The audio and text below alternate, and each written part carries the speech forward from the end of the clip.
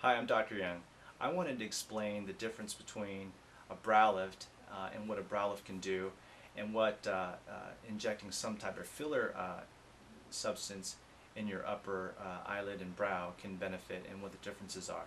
Now, brow lift uh, can benefit a person when their eyebrows have, have descended so that the distance between their eyebrow and their eyelid margin is decreased approximately less than an iris width when it does decrease, uh, when that distance is less than an iris width, that can contribute to a tired look and also extra skin in the upper eyelid.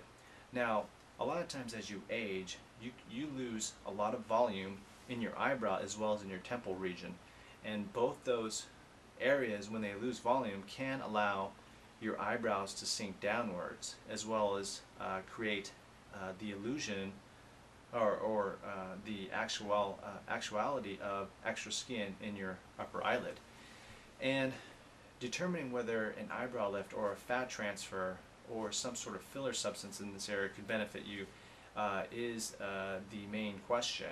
Now, if your eyebrow is approximately an iris width from your eyelid margin, you um, may benefit more from a volumizing procedure such as injecting dermal fillers uh, as well as uh, fat transfer to uh, bring more volume in your eyebrow as well as uh, elevate your eyebrows slightly so that it gives you more of a youthful and younger look. Now when you're when you consider a brow lift when your eyebrow is already approximately one iris width above your eyelid margin there is a risk of you looking surprised after an eyebrow lift. So that's really an important uh, question of and, and, a determinant of whether you can benefit from either a brow lift or a fat uh, transferring or volumizing uh, technique.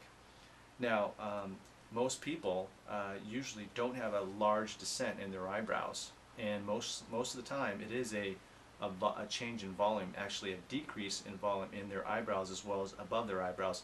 That leads to the brows descending very slightly as well as some uh, mild or moderate excessive skin in the upper eyelid region. And hence volumizing that area can be a great alternative as opposed to as opposed to doing a brow lift uh, or uh, an upper eyelid blepharoplasty. Some of those uh, techniques, a brow lift as well as an upper eyelid blepharoplasty can lead a person to look somewhat unnatural and volumizing might be a better alternative to make some to making someone look more younger in a natural way. Thank you.